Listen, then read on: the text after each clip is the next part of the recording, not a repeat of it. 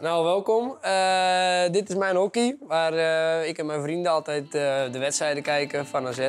En zo ziet hij eruit.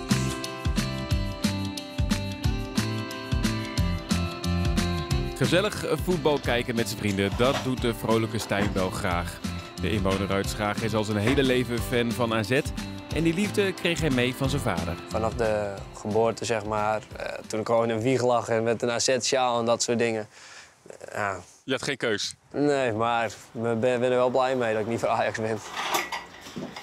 Zoals dit jaar zag je het maar weer, dat je met een wat kleinere club eh, van Ajax wint, Feyenoord, PSV en dan nog dik ook eigenlijk, als je het zo kunt eh, zeggen.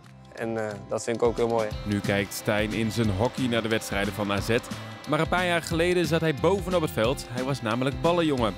En dat leverde hem een keer een pijnlijke situatie op. AZ schiet altijd eh, bij de warming-up als laatst. eh, het zal zijn, vijf, zeven minuutjes of zo. Schieten ze op doel. Ja, en toen ging die bal van Dos Santos via de buitenkant paal. En toen op mijn neus. Toen viel ik naar achter. Oh, beetje draaide, glas van mijn neus. En eh, voordat ik het wist, eh, stond hij voor me. Toen zei hij, na de wedstrijd krijg je een shirtje van mij. Nou, dit was, bij de, dit was dus het shirt wat ik kreeg na de wedstrijd van Depni Dos Santos en AZ tegen ADO. Als soort verontschuldiging dat ik eh, ja, die bal op mijn neus kreeg. En daar Dos Santos moet een goal zijn dit. En dat is er ook eentje. En toen kwam de wedstrijd. En toen scoorde Depni de Santos.